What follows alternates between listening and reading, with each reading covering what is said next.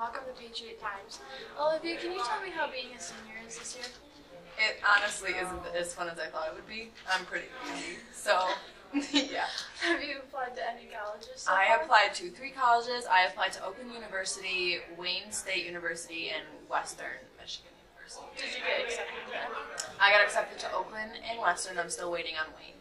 Do you think which one do you want to go to so far? Um, I'm going to end up going to Oakland for sure. What are you doing at Oakland? I want to go for psychology and I want to major in that and then minor in chemistry. Awesome, sweet. Thanks for tuning in today.